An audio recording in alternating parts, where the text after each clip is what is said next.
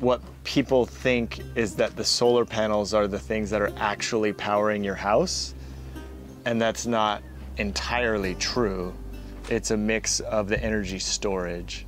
The amount of sunlight, the energy from the sun that falls on our roof, it's just a tremendous amount of energy. And we have the ability to capture that energy. The challenge is storage. It's about 30 kilowatts of battery storage, and this will give us about a day to two days of power if we have a storm or really cloudy days. I think what's interesting is that the system is very reliable. We have not had to use a generator in well over a year at all.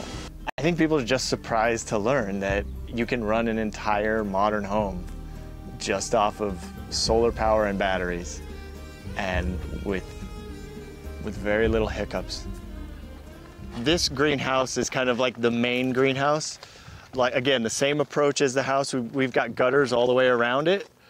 And when it rains, the, the water drops off the back. It goes into a reservoir that's just a, a pond liner. And then it, we, we put a tarp over it just to keep the, the evaporation rate down so that we can use that water all year. But even something like this will still produce about five to 6,000 gallons a year just off of the roof of this. And that provides all the water that these plants will need.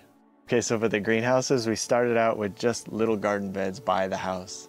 It was very amateurish.